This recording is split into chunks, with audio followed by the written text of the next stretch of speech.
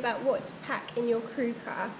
So, unlike other events where the grooms or crew stay at the venue, in endurance, up to four of your crew, um, you can have anything between one to four crew and the rider, go out in a vehicle out on course to designated crew points to meet the horse and rider throughout their loops. So I thought I'd go through what's in my crew car, kind of the basic bits and bobs. Everyone will be different. There'll be some things that actually I'll switch in and out depending on the distance, depending on the horse. But these are kind of the, the core elements of our car crew kit.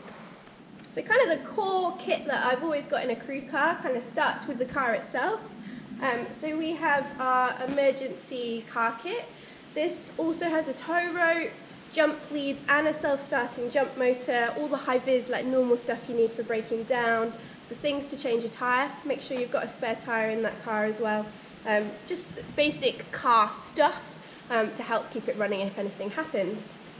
Um, also got the electrolyte and ready soaked sugar beet to refill the water buckets that we've got in the car.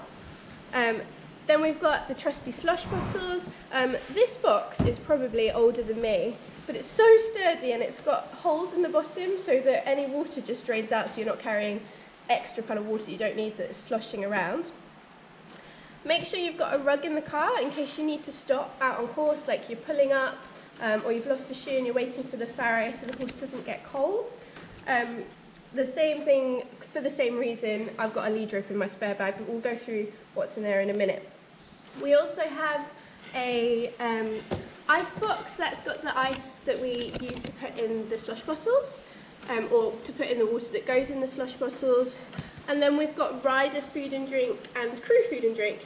It's really really important as crew that you stay hydrated and you eat as well. So be as kind of rigorous with your hydration um, and eating as the, you are with your rider because if, if you're tired, hungry and dehydrated you're not going to be performing to your optimum either. Um, my personal favourites as a rider out on course are Jaffa cakes because they're quite quick release energy and then bananas because they're quite slow release energy and I'll have one Jaffa cake and half a banana at every checkpoint or like crew point. Then I also like to have the Lucozade Light. I find the other one a little bit sugary um, and sometimes plain water, it depends what I, I want. The crew varies and obviously it depends how far um, I'm riding that day but obviously there's Cornish pasties because of Dan um, Welsh cakes because you know we've got to got to be patriotic about our food choices.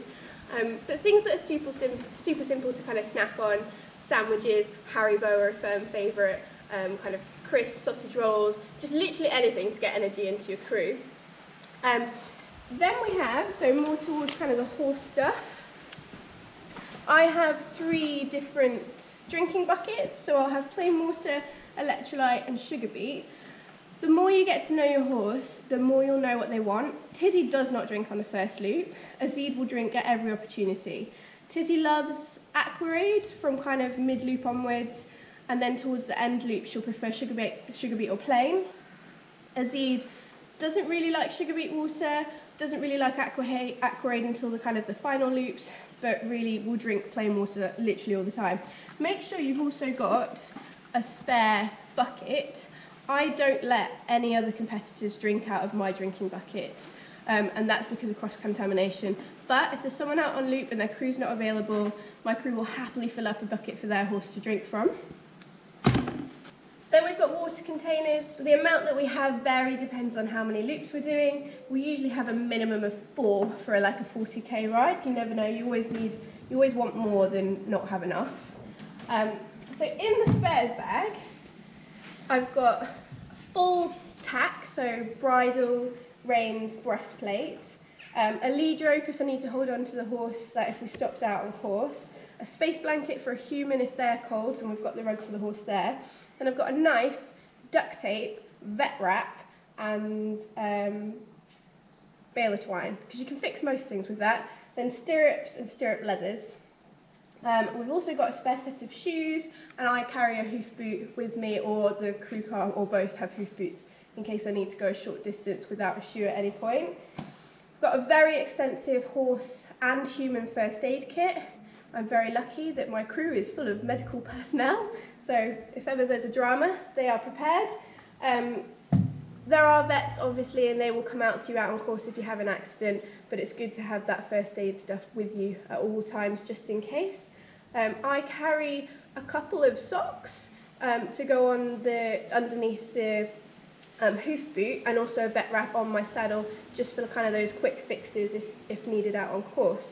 So I want to share with you a few top tips. Um, one being make sure you have designated jobs. So whether you have one or four crew, make sure they know what they're doing. So obviously if you've got one, they're going to have to do everything.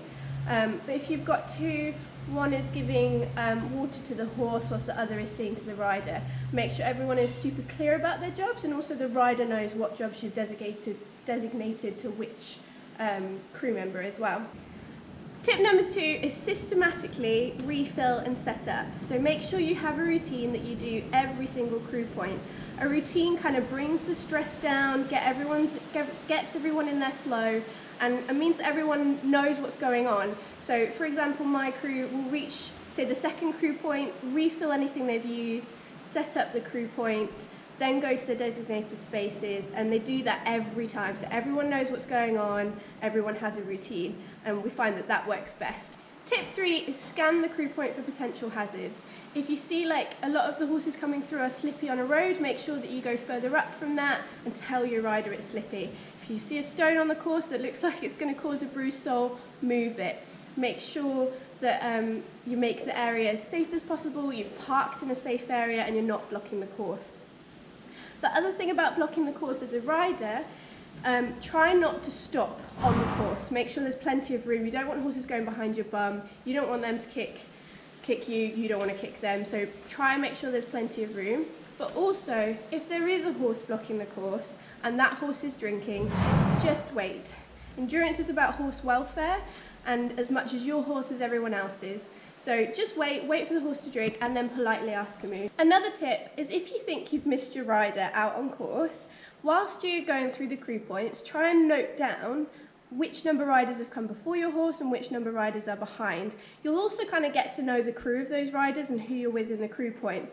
Don't be afraid to ask because they're probably doing the same and they will have noted if your horse has gone through. If no one, none of the crew know and none of the riders have seen your horse, normally the crew points will be quite near a checkpoint, so you can ask the checkpoint.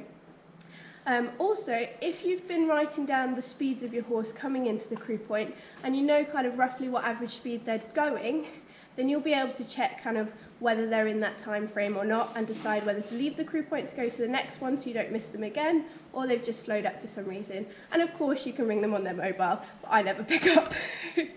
if you can, Make sure you've recceed the crew points the day before. It's also really good to take your riders so they know what it looks like coming into a crew point and going out because they're the busiest points on course and sometimes can be the most dangerous. Um, either have it on a map and designated points. Crewing is a bit like really slow rally driving where you have a co-driver telling you where to go, you've got a driver, you need to get somewhere, and then turning into a Formula One pit crew team when you get to the crew point to do the horse. Um, obviously, you have to stay within the national speed limit and drive super sensibly. This is around horses. Um, but yeah, so have the designated crew points on a map, or you can input them into your GPS, um, but try and recce the route beforehand if you can. And the last tip is to start your crewing day with a full tank of fuel, because you don't want to miss your rider out on course, or break down because you've run out of fuel. I know this might seem like a lot of stuff, but actually you'll probably find that you want more. I've been crewed from tiny, tiny cars like a Fiat Panda, um, a Peugeot 106 with the smallest boot you've ever seen, up to like a Toyota Land Cruiser or a Nissan Patrol, which have massive boots. You tend to find a way of kind of slotting everything in, and we'll go through how I pack the crew car in a different video. But this is the basics. I hope it really helps you to know what bits and bobs to pull together for your first time packing a crew car, sending a crew out on course to help you out with your, your event. Um, as a novice, you don't have to have a crew. Um, you have to start having crew from up to 64 kilometres onwards. But I really recommend it because if you want to go up through the levels, then kind of starting off with a crew and, and getting your crew used to your horse and your horse used to them and getting used to kind of all the bits and bobs that you do in a crew point is really, really handy for as you progress. Um, if you don't have a crew for your novice rides, people out there will help. My crew would happily give you a water bucket, give you half my banana, um, give you a slush and things, so don't be afraid to ask. Happy riding!